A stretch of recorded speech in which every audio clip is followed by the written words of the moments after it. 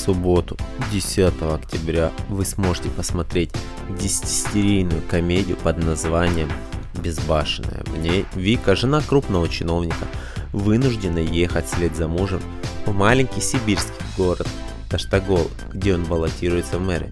В результате семейной ссоры и череды комичных происшествий она теряет память, напрочь забывая, кто она и откуда. Вика теряет память и приходит вся в домике нелюбимого лесника Михаила, который в одиночку воспитывает троих детей.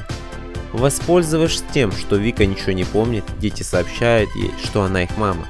В то же самое время в городе стартует предвыборная гонка, в которую неожиданно для себя оказывается вовлечен лесничий. Он просит свою новоиспеченную жену помочь ему с имиджем и подготовкой к выборам.